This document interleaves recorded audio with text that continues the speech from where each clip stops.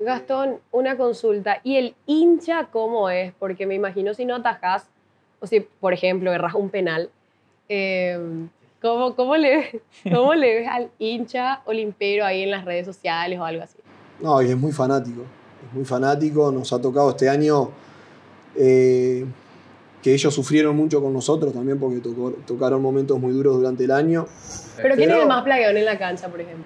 En la cancha, el más plaguión. ¿El qué? Protesta por todo. Eh, Marcos Gómez puede ser uno. Gastón, eh, yo quisiera pedirte tu opinión sobre el reconocimiento que recibió Jan Fernández. No, y el, el premio mío lo tenía el Prezi. Eh, ahí está la, la premiación mía, el destaque mío eh, es el título con Olimpia.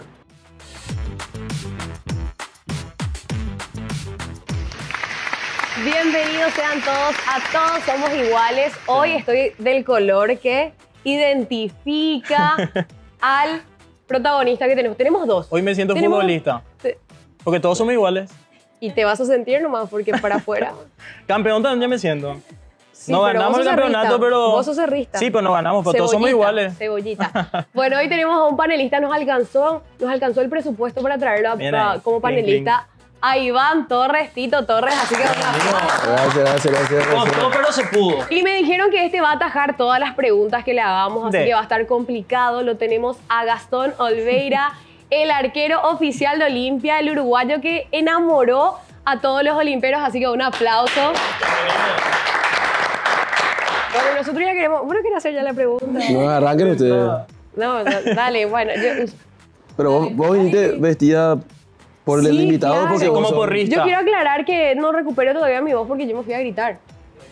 Súper, súper prendida al partido, así que estamos festejando 46, nada extraño.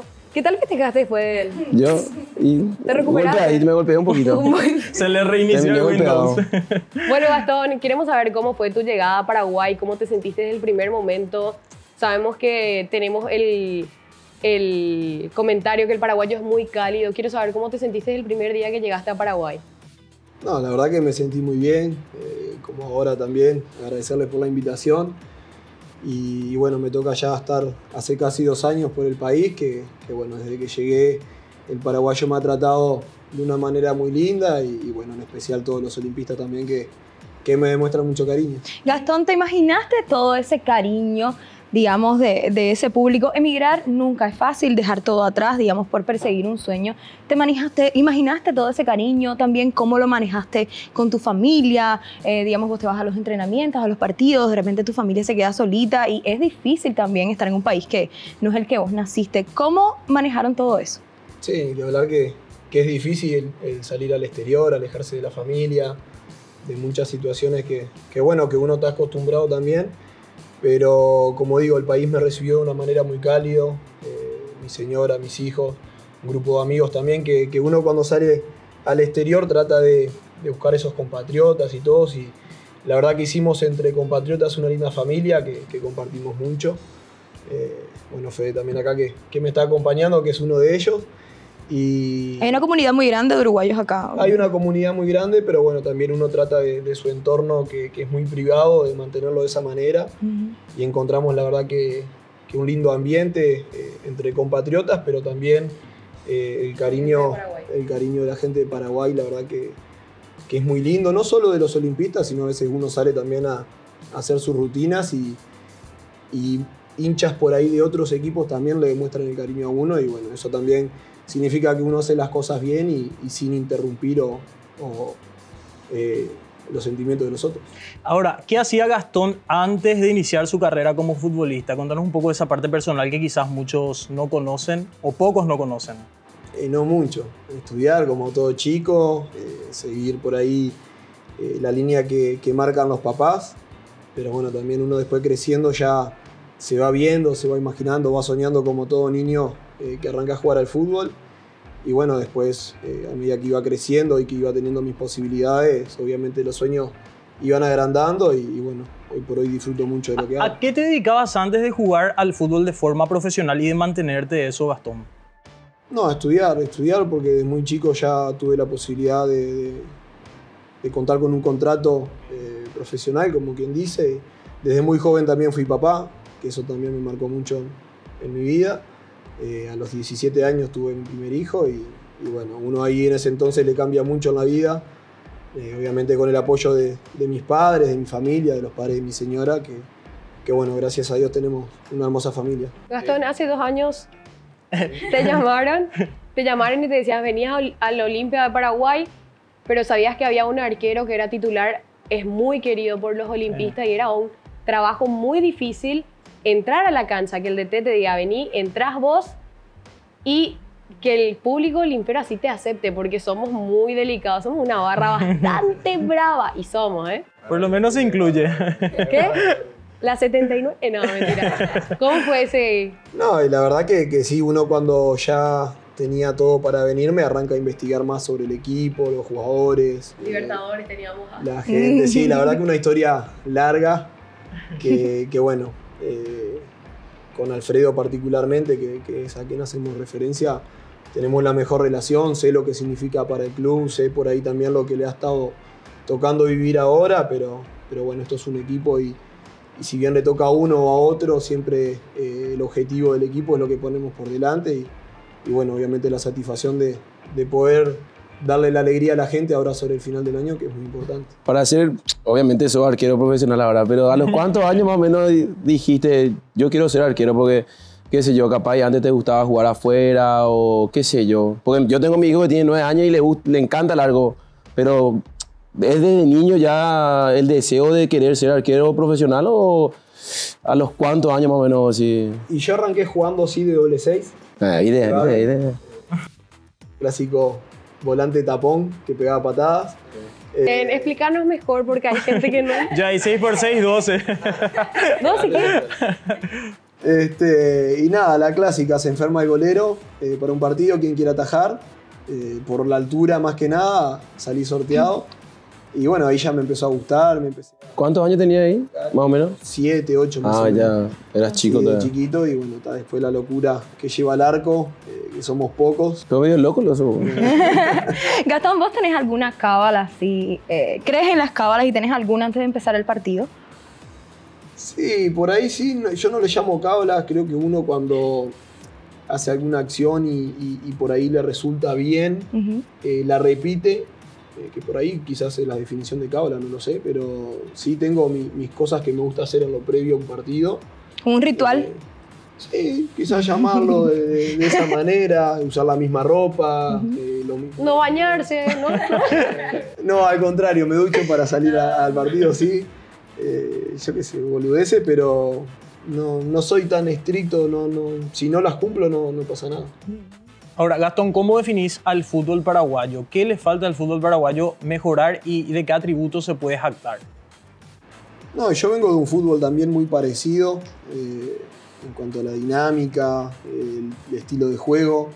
Si es más profesional en, algunos aspectos con, con el fútbol paraguayo, que, que obviamente yo hago la comparación con Uruguay por haber estado ahí. Eh, sí hay factores que me parece que tendrían que, que mejorar para, para el tema de vender un mejor espectáculo, como el tema de algunas canchas que, que nos ha tocado jugar y, y, bueno, eh, perjudican mucho. Gastón, una consulta. ¿Y el hincha cómo es? Porque me imagino si no atajás, o si, por ejemplo, erras un penal, eh, ¿cómo, cómo, le, ¿cómo le ves al hincha olimpero ahí en las redes sociales o algo así? No, y es muy fanático. Muy fanático. Nos ha tocado este año eh, que ellos sufrieron mucho con nosotros también porque tocó- tocaron momentos muy duros durante el año. Pero eh, en lo personal, yo desde que estoy me han brindado siempre mucho cariño. Eh, creo que eso también se lo gana uno dentro de, de la cancha con, con el rendimiento y, y muchas cosas, pero es muy fanático, es muy allegado al jugador. Y, Pero a veces se mucho. toman, por ejemplo, puedes atajar 10 penales o 9 penales, erras uno o algo así, y ellos ya, ya, Sí, ya se enloquecen y se, te condenan y no ven toda la trayectoria que tenés. Lo mismo, Tito. A vos te Pasó con así, Tacuara. Tito, después vamos a entrar, vamos a entrar para debatir eso, pero pasó con Tacuara, por ejemplo, que no le Hasta ahora a nos duele. O algo así, o sea, tipo, ¿cómo, cómo sentís esa presión? No, y creo que, que no solo cuando uno eh, no cumple las expectativas, sino como cuando uno por ahí le toca hacer figura y, y le llegan todo eh, el cariño de una manera impresionante, hay que saber manejarlo.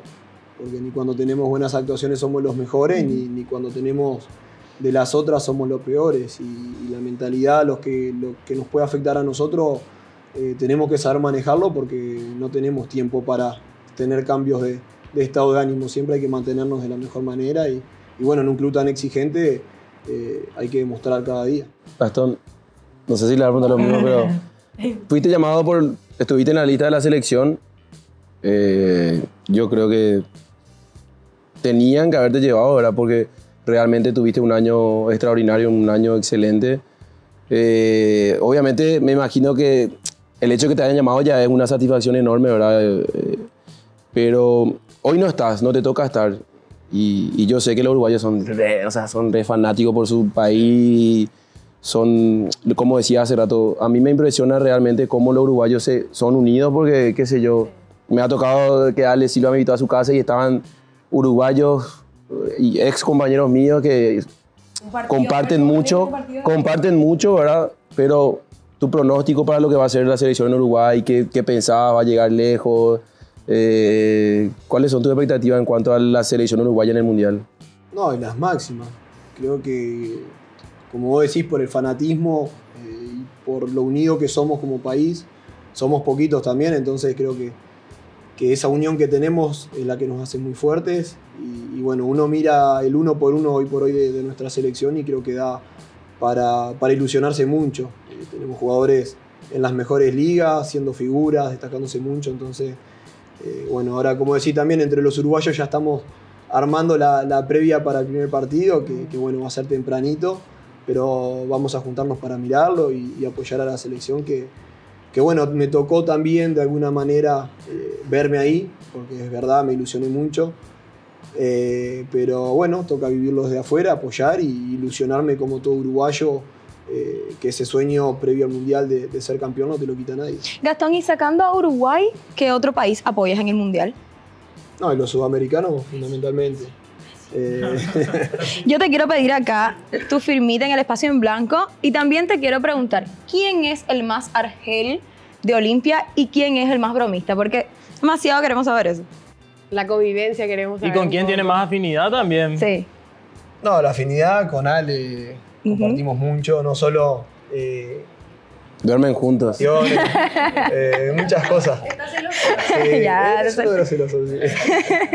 y después, ¿quién es el más argel? ¿El más jodón? Eh, ¿Él es el más jodón? Sí. Ah, ya. El Él lo está diciendo. ¿No era el más plagueón? El más serio, yo sé. No, no, no es el más. Por lo menos conmigo nunca. ¿Pero quién Pero, es el más plagueón en la cancha, por ejemplo?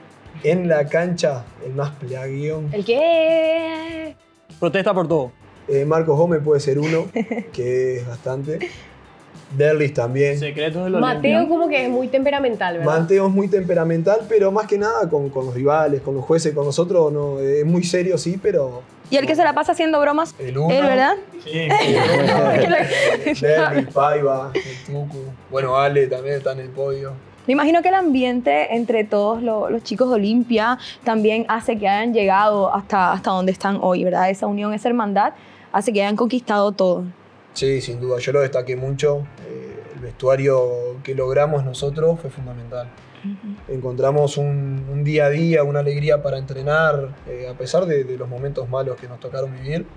Eh, la alegría de, del disfrutar de cada entrenamiento, obviamente que, que la, el acompañarse de, de, resultados positivos lo hace mucho más fácil, pero encontramos un lindo día a día eh, que bueno, se vio reflejado también en la cancha, acompañado por el trabajo, porque creo que también es muy importante, pero la unión que logramos como equipo creo que fue fundamental. Gastón, eh, yo quisiera pedirte tu opinión sobre el reconocimiento que recibió Jan Fernández. No, y el, el premio mío lo tenía el Prezi.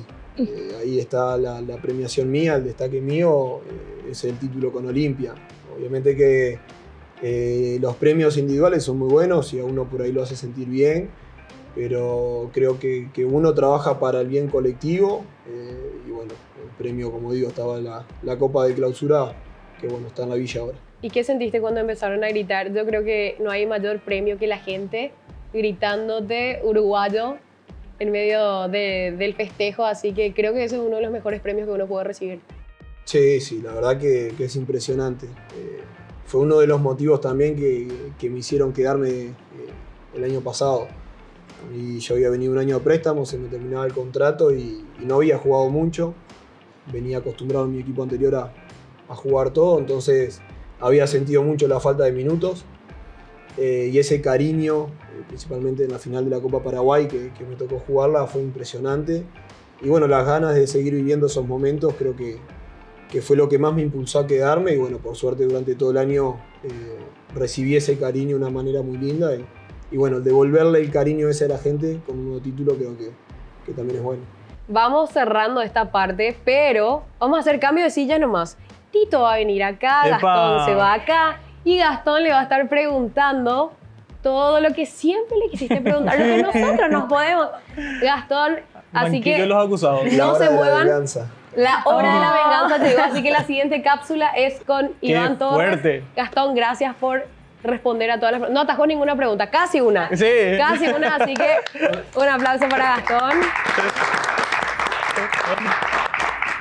Volvemos en breve con Tito Torres.